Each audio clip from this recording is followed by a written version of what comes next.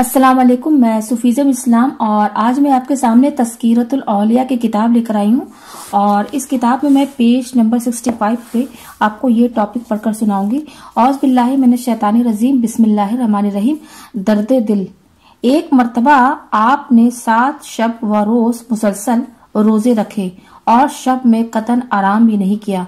लेकिन जब आठवें दिन भूख की शिद्दत की नफ्स ने फरियाद की कि मुझे कब तक अजियत दोगी तो उसी वक्त एक शख्स खाने की कोई शय प्याले में लिए हुए हाजिर हुआ। आप लेकर शमा रोशन करने उठी। उसी वक्त एक बिल्ली कहीं से आई और वह प्याला उलट दिया। जब पानी से रोजा खोलने उठी तो शमा बुझ गई। आ बखूरा गिरकर टूट गया।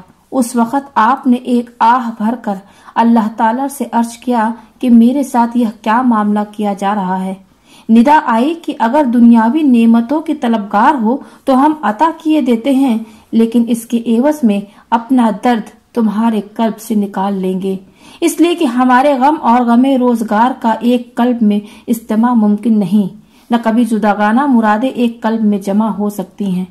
यह निदा सुनते ही दाम ने उम्मीद छोड़कर अपना कल्ब हुब दुनिया से इस तरह खाली कर लिया कि जिस तरह मौत के वक्त करने वाला उम्मीद जिस तरह करके कल्प को दुनियावी तस्वुरात से खाली कर देता है। और उसके बाद आप भी दुनिया से इस तरह किनारा कश हो गई कि हर सुबह यह दुआ करती थी कि ए अल्लाह, मुझे इस तरह अपने जानिब मुतवजह फरमा ले कि अहले जहाँ मुझे तेरे सिवा किसी काम में मशगूल न देख सके।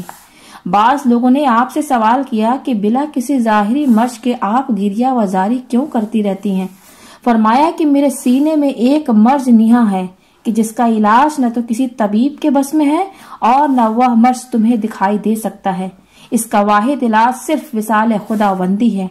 इसलिए मैं मरीजों जैसी सूरत बनाए हुए गिरिया व जारी करती रहती हूँ कि शायद इसी सबब से कयामत में तकमील तमन्ना हो जाए।